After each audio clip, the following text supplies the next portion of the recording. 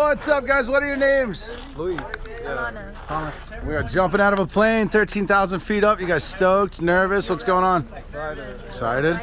Scared a little? Ready? All right, let's do this. 13,000 feet. Have fun, you guys. Get some.